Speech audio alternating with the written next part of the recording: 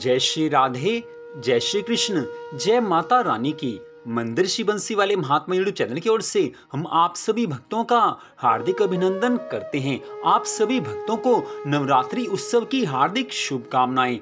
नवरात्रि उत्सव 2021 के शुभ अवसर पर आज हम आपको श्री दुर्गा सप्तशती के छठे अध्याय की कथा सुनाने जा रहे हैं, जो कि इस प्रकार है।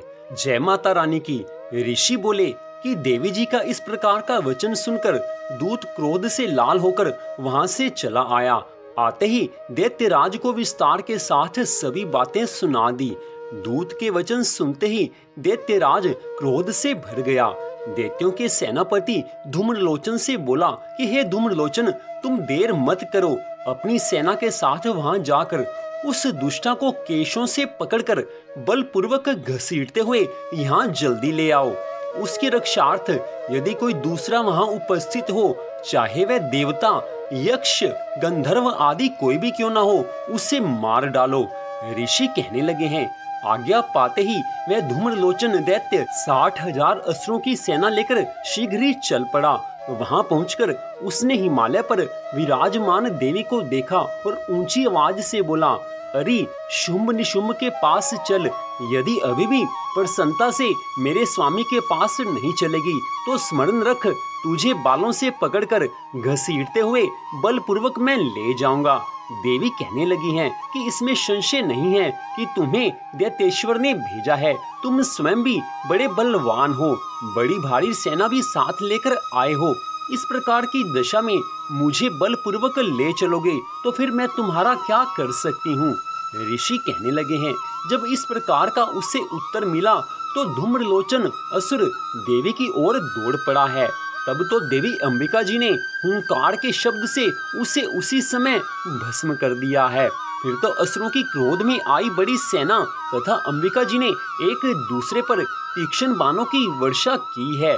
इधर देवी जी का वाहन सिंह भी कुपित होकर भयंकर नाद करता हुआ, अपने बाल फट काटता हुआ असुरों की सेना पर उछल पड़ा। उस सिंह ने कुछ असुरों को पंजे की मार से और कुछ एक को अपने जबड़ों से तथा कई एक महाअसुरों को नीचे पटक कर होठ की दाड़ों से विदीर्ण करके मार डाला। कितने एक देत्यों के केसरी ने नाखूनों से पेट फाड़ डाले। कितने एक देत्यों को तल प्रहार कर उनके सिर धड़ से अलग करके दूसरों की बुझाएँ सिर आदि छिन्न भिन्न कर दिए हैं। कितनों के पेट फाड़ फाड़ कर गले के बाहर फटकारते हुए सिंह ने रुधिर पान किया। अत्यंत कुपित हुई देवी जी के वाहन बलवान सिंह ने क्षण भर में देत्यों की सेना का नाश कर दिया है। देवी जी ने उस असुर धूम्रलोचन को मार डाला। देवी के वाहन सिंह ने भी सारी सेना का क्षय कर दिया। शुंभ ने जब ये सुना तो उसके क्रोध का पारा चढ़ गया। उसके होंठ कांपने लगे। झट शुंभ ने चंड और मुंड दोनों दैत्यों को आज्ञा दी कि हे चंड और मुंड, तुम दोनों बड़ी भारी सेना लेकर वहाँ पहुंचो। उसे जल्दी से यहाँ ले आओ। उसे बालों से खींचकर अथवा बाँध कर ले आओ। यदि इस प्रकार लाने में तुम लोगों को संशय हो तो युद्ध करो। सभी प्रकार के अस्त्र, शस्त्रों से सारे असुर मिलकर उसे मार डालो। उस दुष्टा के मर जाने पर एवं सिंह के भी मर जाने पर जिस दशा में भी अंबिका पड़ी हो, उसे बांधकर अपने साथ लेकर शीघ्र ही लौट आओ।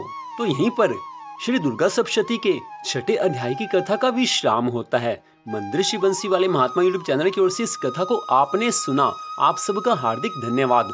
भगवान की अन्य कथाओं को सुनने के लिए कृपया आप हमारे चैनल को सब्सक्राइब कीजिए और हमारे हिंदू धर्म के अनुसार भगवान की विभिन्न कथाओं का आप हमारे चैनल पर आनंद ले सकते हैं। तो इस कथा को सुनने के लिए आपका हार्दिक धन्यवाद।